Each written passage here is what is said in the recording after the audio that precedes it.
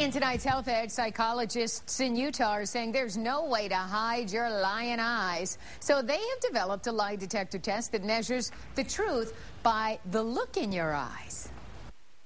Researchers measured pupil dilation and response time, among other things. The theory is that lying requires more work than telling the truth, so the eyes can indicate if a person is working hard. Traditional polygraphs, on the other hand, measure a person's emotional response to what they're saying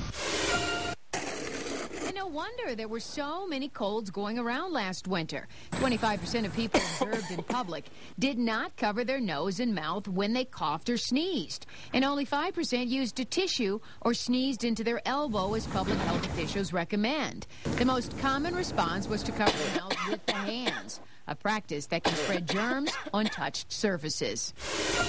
And menopause may be a good time to lose weight for women bothered by those hot flashes. New research shows that a loss of 7 to 9% of body weight in just six months can lead to permanent improvement in hot flashes.